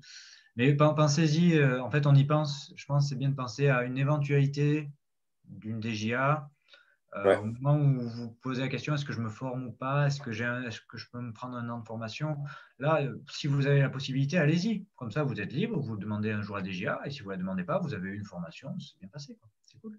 Tout à fait. Voilà. Alors, si euh, il y a une autre possibilité, si vous ne pouvez pas avoir la DGA, c'est-à-dire si vous avez plus de 40 ans ou si vous n'avez pas de diplôme, alors ça, c'est un dispositif régional, donc il faut se renseigner dans sa région. Je crois qu'en Occitanie, ça s'appelle passe installation, mais ça change de nom régulièrement. Mais, euh, donc c'est une aide qui est moindre que la DGA, qui est beaucoup moins contraignante et qu'on peut toucher dès euh, le moment où on est cotisant solidaire. C'est-à-dire on touche un peu d'argent en tant que cotisant solidaire et avec l'engagement de devenir agriculteur à titre principal dans les, euh, je sais pas, alors ça dépend des régions, ça peut être dans les quatre ans qui viennent. Mhm. voilà, donc c'est l'idée, c'est que c'est pour vous lancer progressivement, mais, euh, mais, pour, mais vous lancer sous condition que vous passiez agriculteur à titre principal, donc que vous ayez, que ça marche suffisamment bien pour payer les 3000 euros de cotisation euh, sociale. Donc c'est voilà, c'est on n'a rien sans rien, il hein, faut s'engager. Si, si, on a une subvention, on s'engage à quelque chose. Euh, voilà, ça c'est les deux principales aides. Il y a, voilà, il y a beaucoup moins d'aides. Ça c'est pour les aides à l'installation. Après, il y a d'autres subventions qui ne sont pas des mêmes, dans, les mêmes, dans les mêmes cadres. Donc, euh, si vous êtes en bio et crédit d'impôt, euh, donc ce qui est, c'est, dans la, fiche d'impôt, c'est un formulaire en plus à remplir. Et c'est au bout de la troisième année que vous êtes en bio, je crois. Et c'est une subvention, c'est euh, une subvention, c'est un crédit d'impôt de, de 3 000 euros. Même si vous ne payez pas d'impôt, vous touchez, on vous rembourse euh, l'argent. Mhm. Donc, euh, c'est assez intéressant, en tout cas, de passer en bio avec un label, si vous voulez ça. Parce qu'il y en a qui, beaucoup qui disent, mais non, mais je fais du bio, mais je n'ai pas besoin d'entrer dans un système label. Pas de problème. Mais si vous avez un label, alors c'est pas parfait le label, hein, on peut en discuter longtemps, mais bon, il y a aussi un avantage c'est qu'il peut y avoir un crédit d'impôt. Et après, les autres subventions, ah oui, ça c'est les subventions investissement. C'est des subventions de la région qui sont réservées, euh, enfin c'est la région, c'est l'Europe, mais c'est la région qui gère. Et c'est réservé aux agriculteurs à titre principal. C'est pour ça que c'est intéressant d'être agriculteur à titre principal à un certain stade d'activité. C'est que euh, vous faites un, bâtiment, il est pris en charge à 50%. Donc, euh, c'est quand même pas rien vous achetez un tracteur euh, neuf ou, rien que ou l'irrigation, euh, c'est pris en charge à 30 ou 50% ou 40. 30% c'est assez rare en fait, et pour les jeunes agriculteurs, c'est plus facilement 50% que 40%. Donc ça, c'est intéressant, mais bon, ce n'est pas, pas ouvert aux cotisants solidaires. Et après, il y a, d'autres aides, euh, donc les aides à la conversion bio, qui diminuent un peu chaque année. Donc, euh, pour le maraîchage, en général, c'est des aides à la surface. Donc, pour le maraîchage, c'est rarement intéressant parce qu'il y a des, faibles surfaces. Il vaut mieux demander, on demande soit ça, soit le crédit d'impôt bio. Donc, euh, il vaut mieux demander le crédit d'impôt bio en maraîchage. Et la PAC, c'est pareil, euh, c'est à la surface. Donc, mm. demander la PAC en maraîchage bio, c'est beaucoup de papier. Voilà pour les aides. voilà. Autre chose que je n'ai pas mis nulle part, mais je vous le dis, euh, c'est concernant les, crédits, vous vous imaginez, hein, vous pouvez prendre un crédit auprès d'une banque, euh, vous savez comment on fait. Euh, voilà, vous savez les risques qu'il y a, les avantages qu'il y a. C'est pas, voilà, je ne vais rien vous apprendre là-dessus. Mais il y a aussi une, un organisme de microcrédit qui existe en France, qui s'appelle France Active, euh, et en Occitanie ou en Languedoc-Roussillon, je ne sais, pas comment c'est en ancien Midi-Pyrénées. Ça s'appelle l'ERDI, mais bon, France Active, c'est le nom national. Et ils font du microcrédit pour les, petites entreprises qui démarrent. D'accord. ils sont très ouverts aux projets alternatifs euh, ou le projet d'installation progressive. Ils sont, c'est très agréable de bosser avec eux. Donc euh, voilà, moi j'ai pris un microcrédit pour quand j'ai démarré cotisant solidaire pour avoir un peu de matériel, un peu de trésorerie, acheter, euh, acheter mes pots de confiture en gros, euh, voilà, parce que ça, change la vie quand même. Bah et en plus, c'est des petites mensualités, euh, c'est c'est pas une banque en fait, c'est vraiment un organisme de l'économie sociale et solidaire qui récupère l'argent des, l'argent des banques, mais c'est eux qui gèrent et du coup, s'il y a vraiment il y a un souci sur la ferme, on leur dit ben, là ça va pas, ben, alors on va faire des plus petites mensualités sur plus longtemps. Bon, l'idée c'est que ça se passe bien, mais voilà, si, si, sur les petites sommes, ça vaut le coup de, connaître la France, France Active. Ouais, c'est intéressant. Voilà, voilà. Et puis pour les, ceux qui en sont euh, genre au RSA ou sur critères sociaux, ils peuvent avoir aussi des dons. Euh, ils peuvent mobiliser des dons d'une fondation. Il y a des, des donateurs qui donnent dans leur fondation et ils peuvent trouver comme ça 1000 euros euh, de dons pour les, ceux qui sont au RSA. Très bien. Donc c'est voilà, ils, ça ils travaillent très bien et c'est sympa. Voilà, voilà. Alors, euh, ensuite, euh,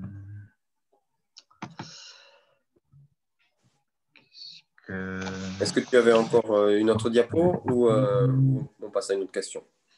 Alors après, j'aurai un jour, un moment ou un autre, j'ai un tableau pour comparer les statuts. On fait un peu les statuts, on n'en a pas parlé depuis un moment. Cotisant solidaire, ATP, les avantages et inconvénients. Je vous le fais maintenant? Allez. Ouais, allez, c'est comme ça après. Hein, Et puis après, on reparlera de permaculture comme ça. Voilà, c'est ça.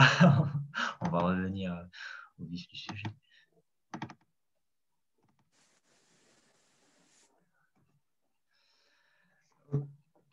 Alors du coup, on a parlé. Euh, là, là, en fait, ce que je vais vous présenter, c'est les différences entre les différents statuts sociaux.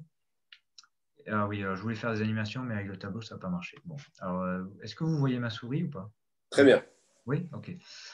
Donc, euh, du coup, si vous n'avez pas de statut social, vous êtes amateur. Alors, c'est possible d'avoir fait, euh, d'avoir demandé un numéro SIRET, c'est-à-dire d'avoir demandé, d'avoir le droit de vendre, mais de ne pas renvoyer les, les papiers à la MSA, c'est-à-dire de ne pas prendre de statut social. À ce moment-là, on, est, euh, on appelle ça registre parcellaire. Et euh, c'est un statut amateur, mais euh, qui a le droit de vendre, en fait. Donc, c'est un peu intermédiaire, un peu bancal, mais euh, finalement, pourquoi pas. donc, ça, vous êtes forcément amateur si vous êtes. Ah oui, alors, 25% de la SMA. Donc, la SMA, c'est la surface minimale, j'en ai parlé vaguement. surface minimale pour devenir agriculteur à titre principal ici. Mmh. Donc, euh, pour, en maraîchage, euh, je crois vers chez moi, ah oui, c'est entre 0,5 et 0,8 hectares en maraîchage. Euh, dans d'autres coins, c'est plus, et peut-être dans d'autres coins, c'est moins. Voilà, c'est chez moi, c'est dans le, c'est départemental, je crois. Donc, du coup, si vous êtes à 25% de cette SMA, vous êtes forcément amateur.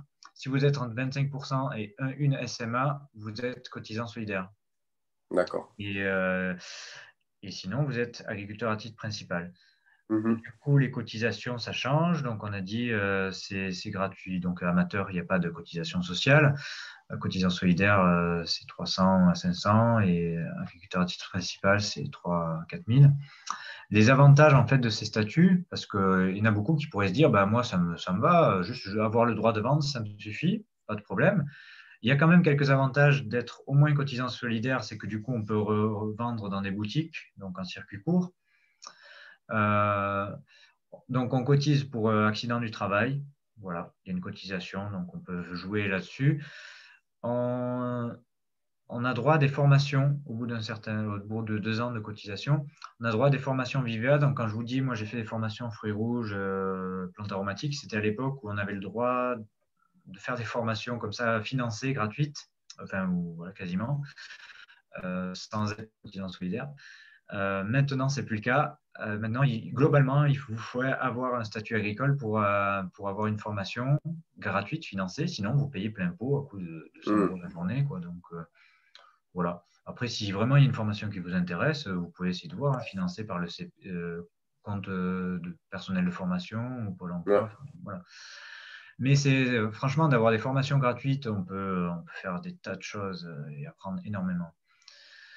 Euh, le, fait d'être cotisant solidaire, ça vous apporte, ça vous rend un peu agriculteur et vous avez le droit, vous êtes considéré comme agriculteur auprès de la SAFER.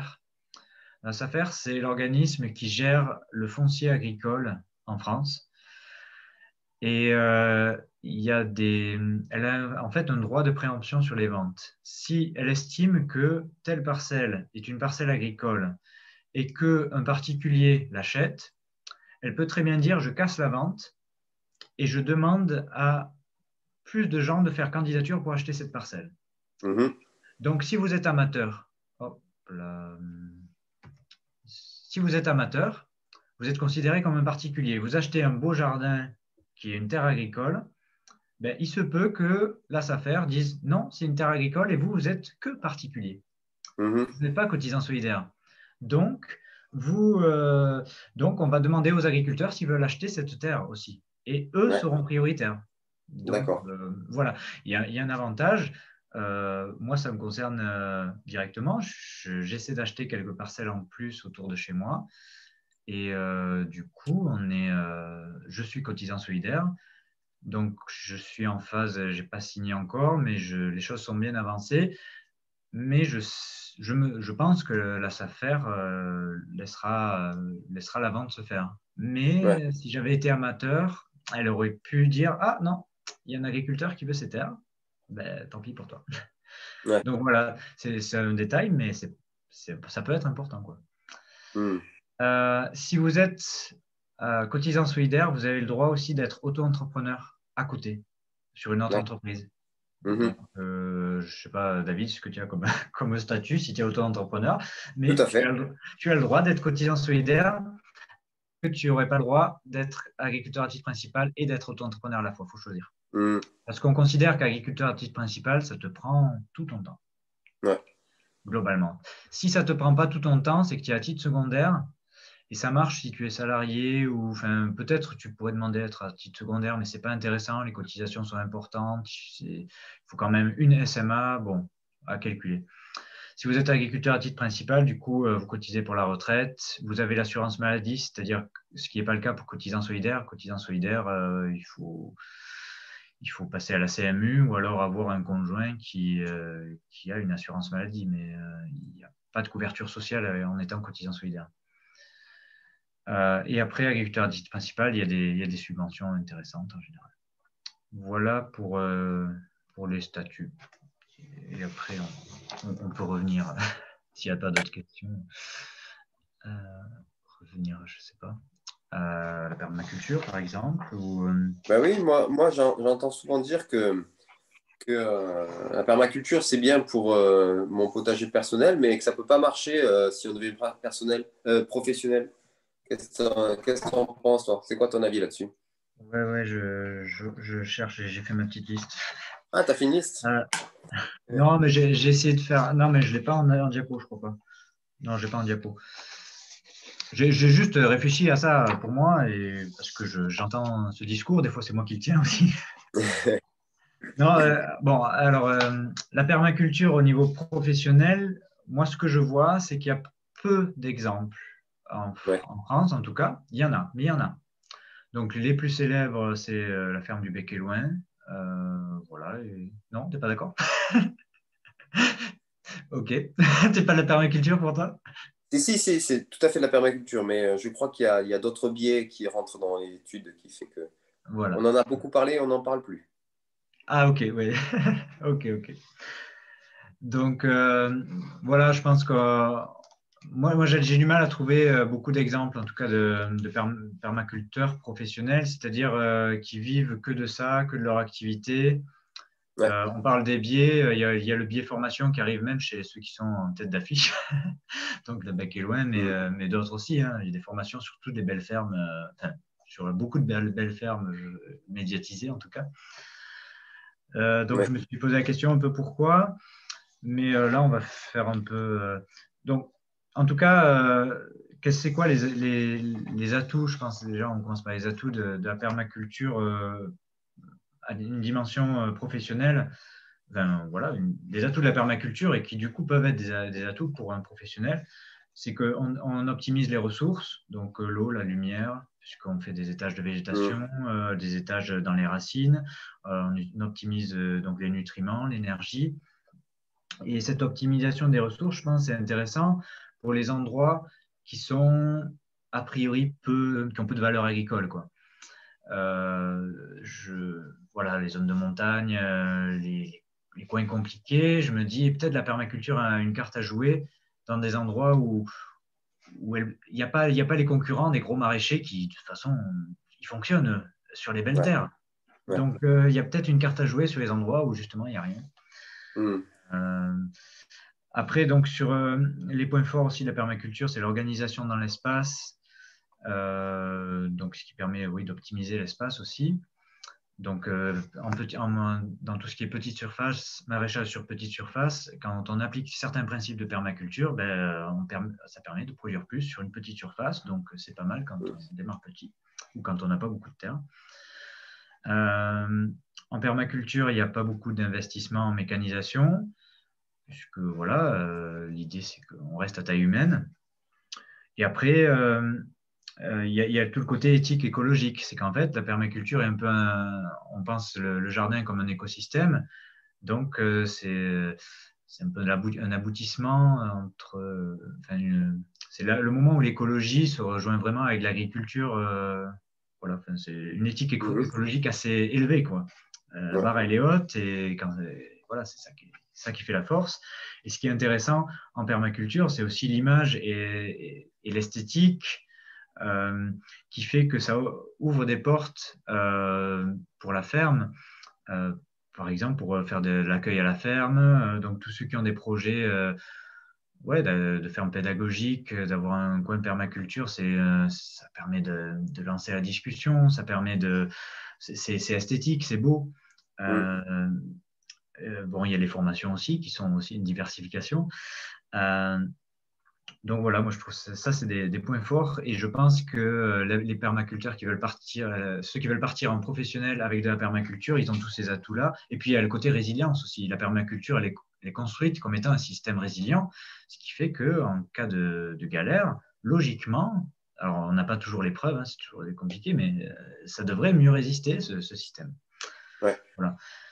Et le, le, le, côté un peu plus compliqué, euh, alors ça c'est moi comme je le perçois, c'est euh, qu'on a quand même besoin d'un temps, euh, un temps de travail à la surface. Le temps de travail il est important. Ça produit beaucoup à la surface, mais ça veut dire qu'on y passe beaucoup du temps. On les bichonne nos plantes.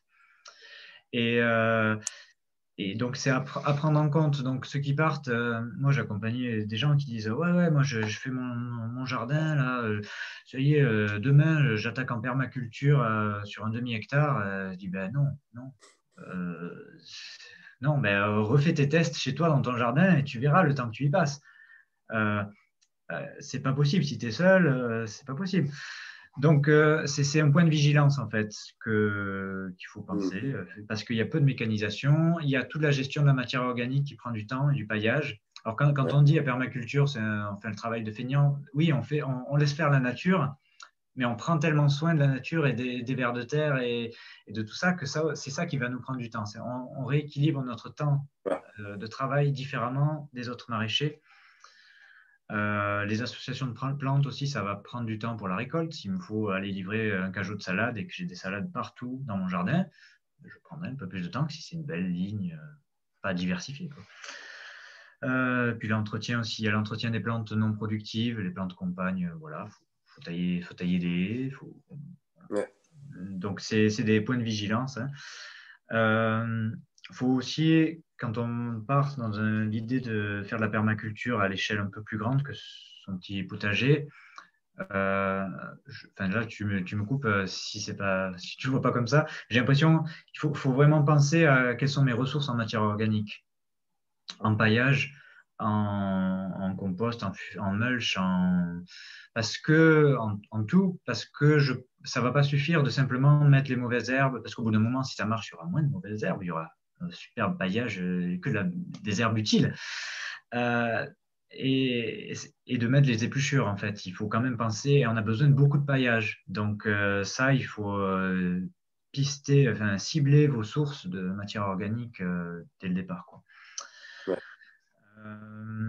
et après, donc, ce que j'ai dit dans les atouts, c'était l'organisation, organisation de l'espace. Quand on met le bâtiment, enfin, dans, les, schémas de, de base. Quoi. On met le bâtiment au centre, c'est pratique, on fait pas beaucoup. On met le, compost aussi pas au centre. Enfin, voilà, je ne maîtrise pas tout ça. je ne suis pas permaculteur high-tech. mais, mais cette organisation, c'est aussi un point de vigilance. C'est-à-dire que si vous perdez la main sur l'organisation dans l'espace et dans le temps, le risque, c'est de se laisser déborder et, ou envahir. Et, mmh. et, à mon avis, en permaculture, ça ne pardonne pas. D'où l'idée de commencer petit. Mmh. Euh, pour savoir, OK, j'arrive à, gérer euh, mon, carré, mon carré permaculture, un carré de permaculture ou 5, je ne vais, pas, je vais pas passer à 100 carrés de suite ou à ma butte, je ne vais pas passer à 10, 10 de suite. Il faut que j'arrive à, à, bien rester sur l'organisation parce que sinon, quand j'arrache quelque chose, je vais ah j'ai oublié euh, de mes plans pour remplacer, donc je vais laisser du sol nu. Du coup, tout mon travail d'années pour euh, ne pas, enfin, des années de travail pour ne pas avoir de sol nu, pour avoir un super super sol, ben, parce que je suis en retard, parce que j'ai pas de plan euh, de salade à mettre à la place. ben, ça va, en quelques en quelques mois, je vais à nouveau avoir des herbes, peut-être pas mauvaises, mais que je saurais pas quoi en faire. Donc euh, voilà, l'organisation, je pense, c'est un défi. Et, euh, et, souvent dans la permaculture, comme c'est euh, le côté écologie qui est en enfin, côté résilience, le système est complexe, donc on y passe beaucoup de temps. Des fois, on met de côté un peu le, le côté économique. Et du coup, si on est professionnel, mmh, mmh. le côté économique, il faut, le, il faut quand même être sérieux. Il faut, si c'est professionnel, vous allez gagner votre vie avec. Euh, donc, il faut gagner sa vie avec. Voilà. Et après, euh, ce qui est un atout, je ne sais pas, un autre point que je voulais voir sur la permaculture, c'est en fait ce qui est intéressant, c'est la diversité des permacultures. Euh, parce que il, y a il y a plein de permacultures différentes. Alors, il y a plein d'écoles. Alors, chacun va avoir son diplôme, son livre, son, sa ferme. Bon, alors des fois, c'est un peu difficile de faire des ponts. Hein, il y a des gens un peu euh, voilà, fermés euh, sur leur truc. Alors l'idée en permaculture, je pense, si on pense au niveau professionnel, c'est euh, peut-être de, de ouais, non, j'ai une diapo qui va présenter, de faire quelques compromis qui vont vous permettre de, à la fois de trouver un équilibre entre l'économique et l'écologique. OK. Et euh, euh, alors, je vais vous sortir une diapo. Ça ne va pas parler à tout le monde, hein, mais si jamais ça parle à quelques-uns. Euh, alors... Pendant que tu cherches ta diapo, moi, ce que, ce que j'entends dans ce que tu dis, c'est que tant qu'on reste dans notre potager en permaculture un peu classique, ben on a, on, c'est une phase où on a le droit euh, de, de, de, rêver, de papillonner un peu plus. Mm. Mais, euh, mais si on veut, euh, si on veut se professionnaliser, eh bien, il va falloir être prêt à laisser tomber certains de, ses rêves et, et, et d'affronter la réalité des choses, la, la, réalité des, des, des, différents éléments à prendre en compte. Voilà. Alors du coup, euh, ouais, ce que je voulais montrer, en fait, euh, c'est l'éthique que j'ai dans mon projet. Donc l'éthique, c'est quel est, c'est mon système de valeurs. Mm.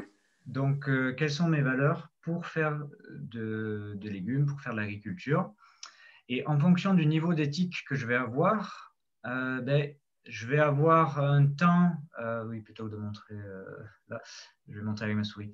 Donc, voilà. Alors, si je mets mes valeurs écologie, en écologie sur, cette, euh, sur, euh, cet axe, ben, en fonction de mes valeurs, je vais avoir un mhm. temps où, pour arriver dans un rythme de croisière, me dire waouh, ça y est, là, ça marche, ça y est, je gagne ma vie en fait, qui va être plus ou moins long. De, mhm. Quand on dit commencer petit en permaculture, c'est le cas.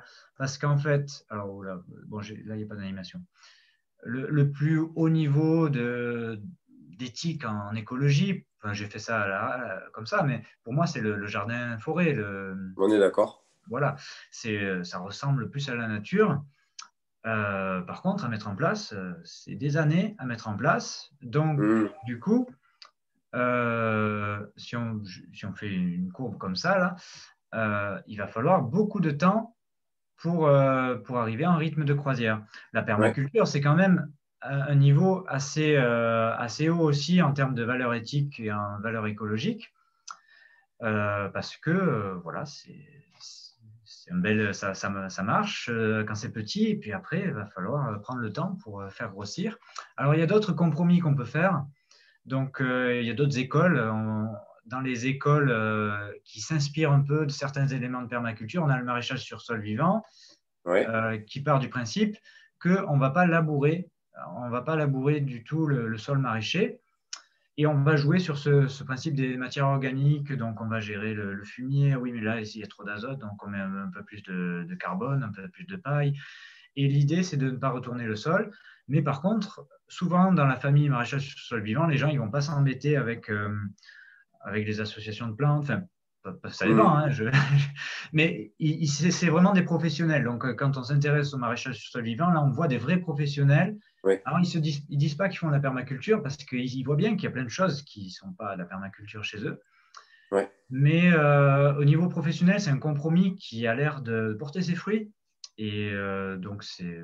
Voilà, moi, je, trouve ça intéressant. Personnellement, personnellement c'est quand, quand, je rencontre des, des, des, professionnels ou des gens qui veulent se professionnaliser, c'est vers ce réseau-là que je les, que je les dirige. Euh, mhm. vers, euh, on a une super association de maréchal sur sol vivant euh, qui bosse pas, très, très bien, qui est, qui est bien implantée dans le Gers déjà pas mal, du côté de chez moi, même un peu partout, avec pas mal de, vidéos et de cours à, à proposer. S'il y en a certains parmi vous qui veulent en savoir plus, je leur donnerai avec plaisir le lien vers les vidéos de, de, ces gens-là qui sont pour moi des professionnels, qui sont le, dans ce qui est professionnel, c'est le plus proche de ce que, ce que l'on porte. Ouais. Ouais, ouais, je pense. Euh, Tout en restant euh, les, les, pieds sur terre et, et très compétents, qui savent te parler de, d'azote à l'hectare, de, de, kilos de carbone et compagnie. Voilà. Alors n'ayez pas peur, dans maraîchage sur sol vivant, il y en a aussi qui ne sont pas bio. Oui, alors, du coup, ça, surprend parce que des fois, on parle de, glyphosate et de Roundup et là, oh, au secours Donc, euh, voilà, il ne faut pas avoir peur. En tout cas, les, ceux qui sont à la base, ils sont maraîchers bio. Euh, mais ils forment tout le monde et ils donnent des conseils aussi à ceux qui ne sont pas en bio. Et c'est pas grave de ne pas être en bio. L'idée, c'est que chacun avance vers un peu plus d'écologie. Et euh, voilà, je vous encourage aussi à ne pas être trop dogmatique. rencontrer des gens qui sont pas en bio. Un jour, on fera un hors-sujet sur le glyphosate, il faut rigoler. Voilà. Donc euh, voilà. Alors si on continue dans les familles un peu de compromis, il y a le, bio-intensif, donc euh, c'est euh, l'école un peu Jean-Martin Fortier avec le livre Jardinier maraîcher, donc c'est un Québécois. il applique des, principes un peu de maraîchage sur sol un peu de, des principes de, de quelques principes de permaculture, mais son idée, lui, c'est pas de tracteur. Il est sur des petites machines, petites, petites surfaces, bon, comme, euh, maraîchage sur, comme euh, la permaculture. Hein. Il est sur plus petite surface que maraîchage sur sol vivant. Et du coup, son, son, idée, c'est pas de tracteur, mais quelques petites machines. Donc, c'est intéressant. Euh, tous les maraîchers qui sont en zone de montagne, comme ici, chez moi, dans, les Cévennes, ben, maraîcher avec un tracteur, bon, il est petit, enfin, il faut déjà un tout petit tracteur, mais en fait, ils, sont très inspirés par, par Fortier parce que on, on a des, principes simples avec un petit, un petit travail léger, euh, une petite moto, motobineuse, enfin un petit motoculteur, ou alors après ils reprennent des, des, bâches. Ou, voilà. Donc en, zone, en zone de petit maraîchage, c'est pas mal. Ils ont pas mal euh, d'outils sur perceuse aussi. Ouais, voilà, ils sont très créatifs. Euh, ils adaptent des, grosses machines à, des petites surfaces ou des petites planches. C'est sympa. Moi, je me suis pas mal inspiré pour mon jardin perso euh, du livre de Jean-Martin Fortier. Après, ben, dans les familles, il y a la biodynamie. Bon, euh, je ne conseille pas trop. On va dire les fondements de la bonne biodynamie ne sont pas très bibliques, on va dire. Oui, j'allais te dire, je suis surpris de les, de les voir euh, dans ton tableau. il me semble que les fondements sont quand même assez ésotériques. Voilà, mais non, mais je le mets parce que c'est bien, ça fait partie du paysage. Tout à fait. je ne mets pas là pour que vous partiez là-dessus. Mais euh, bon, c'est un peu moins à la mode. Mais, euh, mais on rend Quand même, je, suis toujours halluciné par voir euh, par, par la place qu'ils ont pris dans le milieu de la vigne. Ah oui, ça c'est vrai. Ah, la vigne, oui. La vigne en biodynamie, tu as l'impression que c'est l'alpha et l'oméga de, de, la vigne. Ouais, Donc voilà. Donc juste, voilà, les, les, principes sont, de base sont assez ésotériques moi, j'ai rencontré des, vignerons quand j'étais en Autriche. la biodynamie est née en Autriche. Mhm. J'ai rencontré des, vignerons divers et variés en biodynamie. Alors, il y en a qui sont un peu les pieds, assez les pieds sur terre. Ils, appliquent des principes simples en se disant bah, si, c'est améliore le sol, euh, voilà, c'est très simple. Et puis il y en a d'autres qui sont perchés, euh, qui regardent les étoiles et tout, euh, les constellations, c'est un peu l'horoscope de l'agriculture pour, pour faire leur culture. Donc voilà, je, je, déconseille, mais ça fait partie, il faut, savoir ce que c'est. alors c'est pas toujours bien classé là vers le fond, hein, mais mmh. l'agroforesterie, voilà, c'est l'association des, des, arbres et de culture plus basse. Quoi. Donc, ce n'est pas l'association de tout avec tout, c'est voilà, des arbres et de la culture. Traction animale, donc ça, c'est ceux qui sont rentrés dans, du côté euh, juste pas de tracteur, un peu comme Jean-Martin Fortier, mais euh, l'idée, c'est euh, d'éviter l'utilisation d'énergie fossile et, le, et la pollution par les, moteurs thermiques. Et là, il y a des très beaux outils qui, ont, qui sont créés. Donc, en petit maraîchage, il y a des beaux résultats. C'est assez sympa. Il y, a, même un BPREA, je crois, qui est en euh, BPREA maraîchage en traction animale euh, en Ariège, je crois. Mm. je, pense que, je pense que Philippe euh, et Lydie nous en parleront un petit peu dans l'année, ah, parce que même on fait quelques expériences dans le domaine. D'accord, très bien. Voilà. Après, agriculture bio au niveau label, ben, c'est un cahier des charges, donc on respecte le cahier des charges, pas plus, pas moins. C'est pas, mais, mais c'est quand même déjà bien. C'est-à-dire, il n'y a pas de, il a pas de pesticides chimiques issus de, la pétrochimie, donc euh, c'est déjà beaucoup et il euh, ne faut pas cracher sur euh, un projet agriculture bio, mais c'est sûr que ce n'est pas la permaculture comme on le présente. Et puis agriculture raisonnée, voilà, je ne parle pas plus. c'est pour être poli, ça. c'est pour être poli. En fait, c'est un peu vide de sens, quoi. Voilà. Il n'y a pas de cahier des charges qui parle d'agriculture raisonnée, donc tous ceux qui ne sont pas bio peuvent dire qu'ils sont raisonnés. Et ils le disent. Voilà.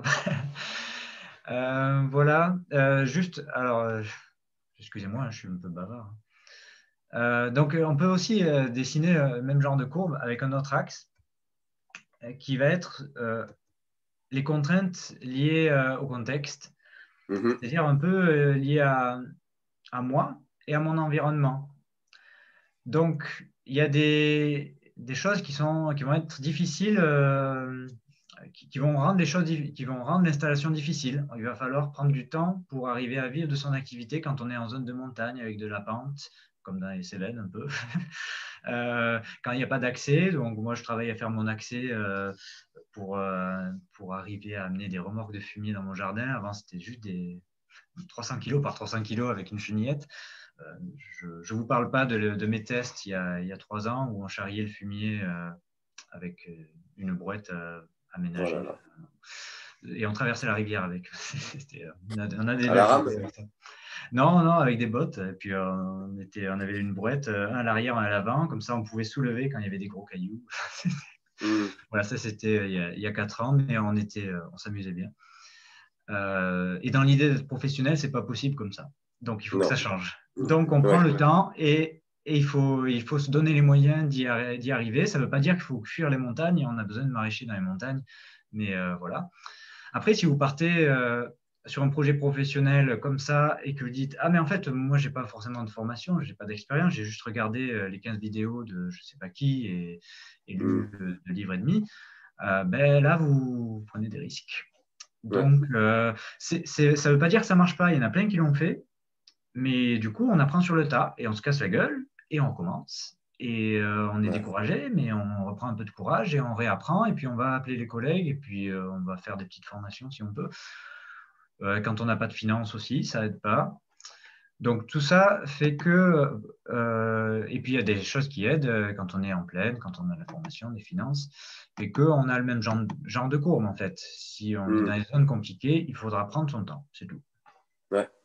Voilà, voilà. Mais pour revenir sur pas de formation, pas d'expérience, pas de finance, euh, enfin surtout sur euh, pas de formation, pas d'expérience, ça dépend des capacités d'apprentissage de chacun et du réseau, mais mhm. de plus en plus, sans passer par les...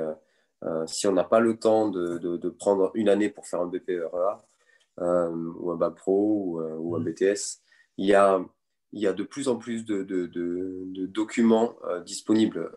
on parlait tout à l'heure de maréchal sur sol vivant. Entre les formations de, de, maréchal sur sol vivant, les formations en ligne gratuites de, de vers de terre production, etc il y a de plus en plus de choses euh, pour, pouvoir se former, des, des, des, des écrits euh, pratiques euh, et complets. on arrive dans une période où c'est, ça commence à devenir un peu plus facile, mais il faut se renseigner. Et merci le, merci le confinement. oui, oui, le confinement, ça peut aider certains. Disons qu'il y a eu encore plus de ressources qui ont été mises, mises en ligne aussi. Oui, tout à fait. Après, voilà, ça demande, par contre, ça demande, si, si on n'est pas accompagné, ça demande une rigueur personnelle. Mm, mm. Parce que euh, le, le, le, confort d'une formation, c'est aussi ben, qu'on est pris par la main du début à la fin par les profs. Et puis, euh, il y en a pour qui c'est nécessaire, qui ne sont pas en capacité de, de, de, s'auto-former. Mm. Mais euh, ça devient plus facile dans la période actuelle que ça ne l'a été dans le passé. Et je trouve, du coup, ça, ça se complète bien avec le test, c'est-à-dire votre potager personnel. Parce que ce que vous expliquent les, les grands maraîchers, tout ça, ben, vous, avez, vous allez l'essayer à petite surface et c'est là que vous allez transformer l'essai, en fait. Et c'est pareil avec un BPRE hein, faire, ou une formation. Si on fait une formation et que c'est qu'on ne profite pas assez des stages ou qu'on n'a pas notre jardin pour mettre en pratique, mm. ben, on fera nos tests et on va se, on va se gameler euh, quand on sera professionnel parce que euh, la recette miracle, elle ne fonctionne pas chez moi et je ne comprends pas pourquoi. Ben, voilà, ben, j'ai perdu euh, ma saison de, je sais pas quoi, de carottes.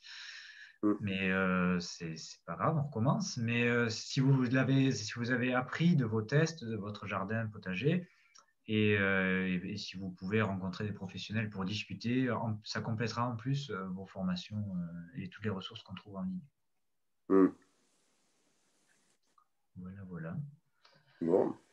Donc ça, c'est bon, je pense. Ben, on a fait, je pense qu'on a fait le tour. Hein voilà. Euh, je, regarde si j'ai pas, j'ai pas des scrupules quand même à vous laisser partir comme ça. J'ai pas un peu bavard, désolé, mais. Euh, ah, bah, si vous voulez, j'avais fait une, un truc de conclusion. Ah, bah si tu as une conclusion. C'est simple. Euh, partager. J'y arrive.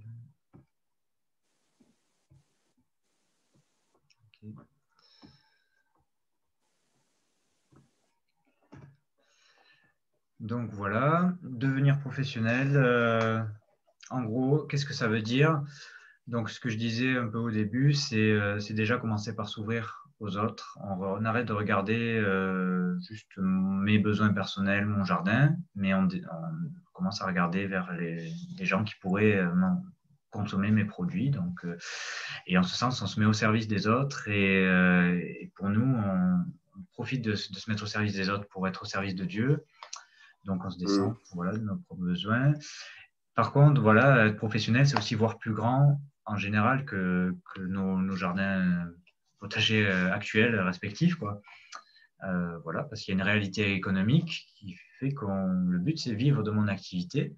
Et tout au long de ce processus, pour moi, devenir professionnel, c'est vraiment un processus où on décide de grandir euh, en compétences, en technicité, et, jusqu'à la retraite il y a toujours des choses à, approfondir. Quoi. Donc, c'est ça que, que, je trouve passionnant. Quoi. Et, euh, et, dans ce qu'on peut faire là maintenant, euh, ou ce que vous pouvez faire maintenant dans la saison dans laquelle vous êtes, pour moi, c'est commencer à, prier par rapport à ça, essayer de, voir quels sont mes rêves, qu'est-ce que, Dieu en pense un peu, où j'en suis, et pour définir un peu cette vision, définir ces objectifs, qu'est-ce que je veux, là ça vient tout d'un coup. Euh, et, faire un peu le point de qu'est-ce qui est à ma disposition autour de moi, euh, les moyens et, euh, et que j'ai pour monter le projet. Donc, on a les finances, le lieu, est-ce qu'il faut un lieu, quelle main-d'œuvre? Et s'il me manque, si j'ai des gros manques, avant de me lancer tête baissée dans un projet professionnel, ben, peut-être il faut prendre un peu de temps pour, pour chercher les finances, pour chercher un lieu adapté voilà, et puis tout au long du processus, rester euh, entouré en tout cas. Euh, vient pas, Et après, quand vous avez un peu euh, défini votre, votre projet, que ben, donc les, formations et l'expérience, ça, continue. Il n'y a y en a toujours besoin. Euh, rencontrer des professionnels, euh, élargir le réseau euh, en tout genre, et après rentrer dans la phase d'accompagnement quand vous savez qu'est-ce que c'est votre projet, donc avec l'ADA ou la Chambre d'agriculture.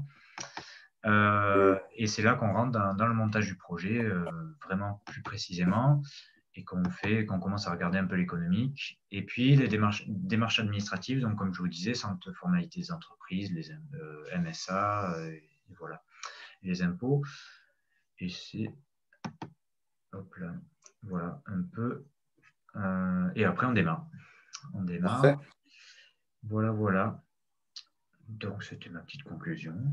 Euh, ben, j'ai, oublié de vous, j'ai oublié de vous dire, euh, si vous cherchez donc les sites internet, donc j'ai parlé ADR, le site internet c'est je m'installe paysan.org, mais bon, si vous tapez ADR, vous allez trouver vite.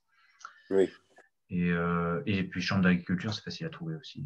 Oui, très bien. Voilà, voilà.